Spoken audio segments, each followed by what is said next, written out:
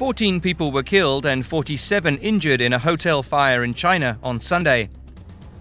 The fire started in an internet cafe on the second level of the hotel. It then spread to the third, fourth, and fifth floor of the building.